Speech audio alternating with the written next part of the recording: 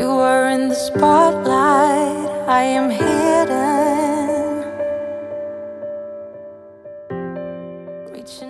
मैं पहली बार तीरकोट और रंगला की साइड पे आया था लेकिन इस जगह की अप्रोच इस जगह का लैंडस्केप यहाँ के लोग और यहाँ का वेदर सारी चीज़ें मेरे मतलब की थी। और मुझे भी यकीन था कि ये एक ऐसी जगहों में बन गई है कि जहाँ पर मैं दोबारा आता रहूँगा क्योंकि इस्लामाबाद रावलपिंडी से सिर्फ़ तीन साढ़े तीन घंटे के फासले पे अगर आप आ जाते हैं और इतना खूबसूरत वेदर इतना खूबसूरत लैंडस्केप और ऐसे बेहतरीन लोग अगर आपको मिल जाएँ तो फिर और क्या चाहिए?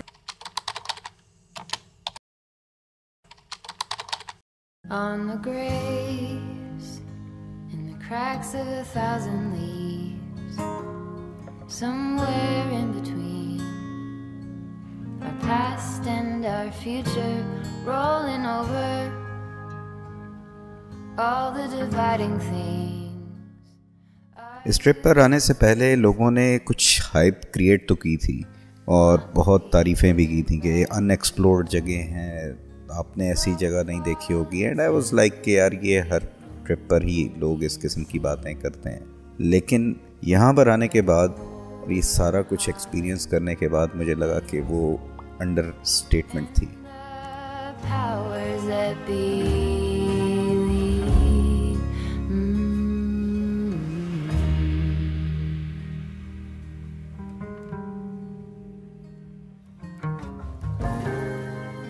यहाँ पर स्टे के दौरान ज़्यादातर बारिश होती रही और बारिश में ये तमाम लैंडस्केप और ज़्यादा निखर जाता है लेकिन प्रॉब्लम ये होती है कि फिर आप इस बारिश में ज़्यादा वीडियोग्राफी भी नहीं कर पाते, आप ड्रोन्स भी नहीं उड़ा पाते।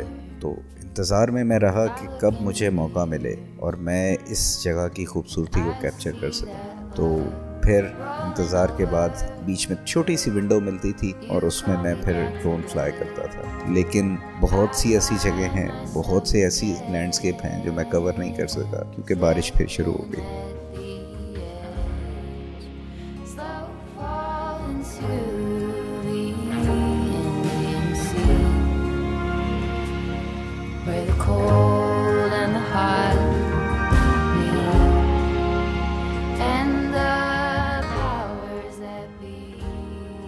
Be. दीरकोट और रंगला का सबसे जो बड़ा यूनिक सेलिंग पॉइंट कह रहे हैं वो ये है कि ये इस्लामाबाद और रावलपिंडी से सिर्फ़ तीन, साढ़े तीन घंटे की दूरी पर मौजूद है सेकेंडली आपको जो रोड्स यहाँ से लेके जाती हैं, जिस तरह एक्सप्रेसवे बेहतरीन बना हुआ है सेम ऐसी ही रोड्स आपको आगे थ्रू आउट मिलती है धीरकोट तक और एक्सेप्शन है एक दो पैच जहाँ पे लैंड स्लाइडिंग ज़्यादा होती है तो वो पैचेस हैं और वो भी बहुत ही छोटे छोटे अदर देन दैट बेहतरीन रोड आपको लेके जाती है तो इसलिए आपको वो चीज़ की भी परेशानी की बात नहीं है कि यार पता नहीं रास्ता कैसा होगा। बेहतरीन रास्ता है।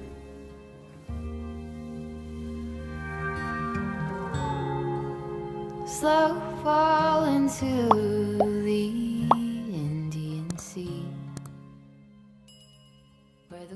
उम्मीद करता हूँ कि आज का व्लॉग भी आपको पसंद आया होगा और ये रंगला और दीर कोट, ये लोकेशंस भी आपको बहुत पसंद आई होंगी। नेक्स्ट व्लॉग में इंशाल्लाह फिर मुलाकात होगी। अपना ख्याल रखिएगा। अल्लाह हाफिज़। पाकिस्तान, जिंदाबाद।